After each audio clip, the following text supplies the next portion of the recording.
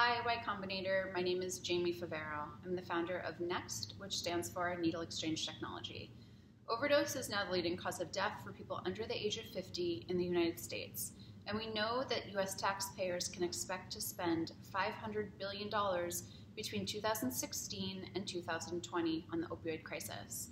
NEXT is a harm reduction platform that provides education, resources, support, and supplies to current drug users across the United States. We know that health insurance companies and health departments will pay for this service because everyone is struggling to keep up with the opioid crisis. And this is a very tangible solution. It's pragmatic and it's cost effective. I've run syringe exchanges before in New York City. I know how to do this. And let's save lives together. Thanks.